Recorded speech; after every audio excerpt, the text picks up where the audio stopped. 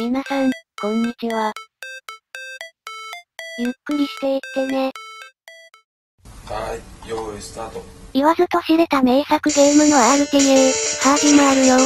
まずは設定を開きます。話の速さ、戦闘アニメーションは見ません。当たり前だ初めから押したので、ここから計測開始です。名前選択まで A ボタン連打。早くしろ。まだ時間かかりそうですかね。名前入力です。名前は入力しやすいホモにします。さて、ライバルの名前ですが時短のために最初の選択肢のレッドで、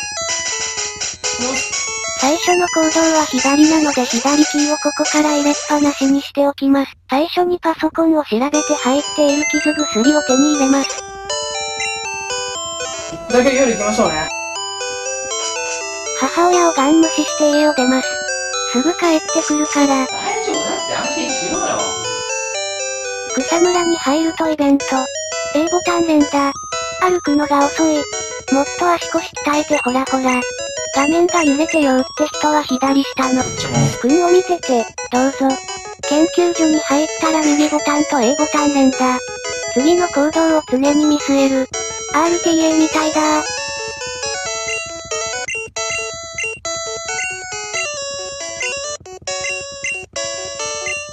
最初に選ぶポケモンは人影です。移動しないで選べるからね。失格の命中が100なのも。あ、いいっすね。ここ。B ボタン連打にしないとニックネーム回避できません。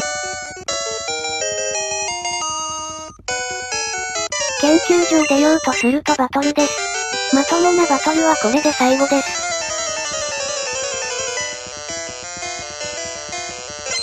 最初で最後のライバル戦。A ボタン連打で OK。実は、ここ。負けてもいいので経験値が入らない負けの方が早いです。相手の攻撃具合にもよるので勝ち負けは完全に運ですが。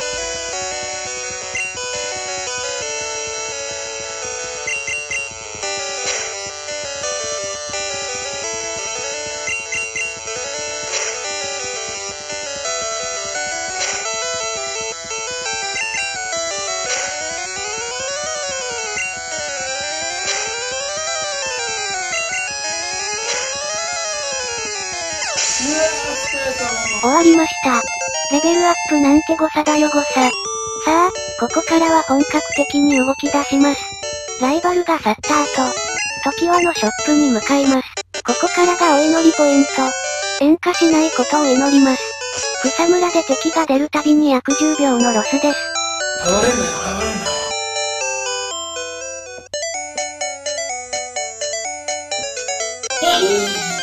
倒れんなよ、倒れんなよ。演歌なしはそうそうないので1回くらい。多分もう演歌しないでしょう。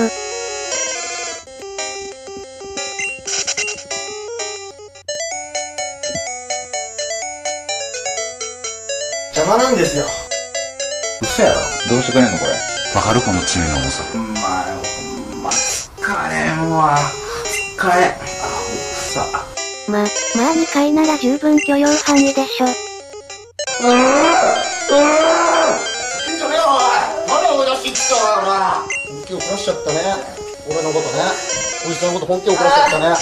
3回演歌なんて聞いてないんだよな。なんとか時はに到着です。ショップでお届け物をもらいます。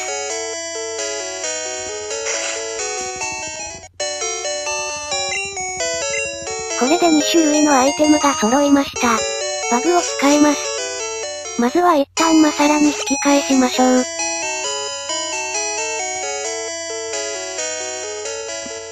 帰り道は段差があるので演歌の心配はありません。ここでバグスタート。アイテムの2個目でセレクト BB。この状態で戦闘に突入します。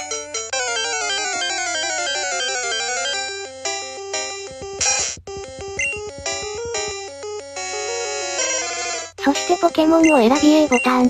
戦闘に勝利すると、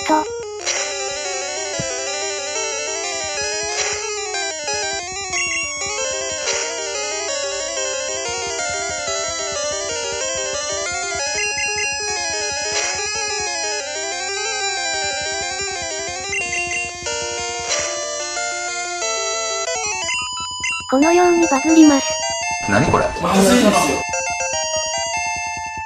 そしてマサラに入ってから84歩歩いてライバルの家に入ります。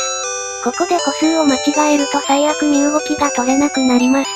草むら右列から町に入ってライバルの家の扉までが10マス。ライバルの家の扉から町の右端1往復が10マスと覚えておきましょう。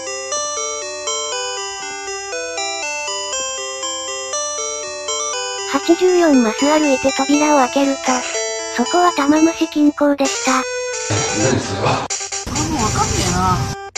あとは玉虫デパートに裏から入るだけです。本当は歩数合わせのために少し回り込むのですが、今回は移動がバったのでそのまま入ります。なお、この時左から入らないと成功しません。これにてゲームクリアです。計測終了点は G、エンドが表示された瞬間とします。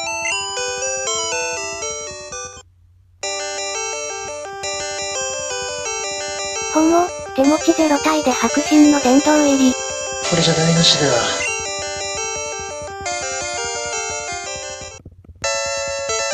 さて、早くもエンディングのお時間となりました。今回の完走した感想ですが、塩化率、っ。て、って感じでした。ここはもう運でしかないので同じチャートで誰か試してみてください。お願いしますと言ってみろ。バグの使用はスムーズにいきました。次走る時も同じように行きたいです。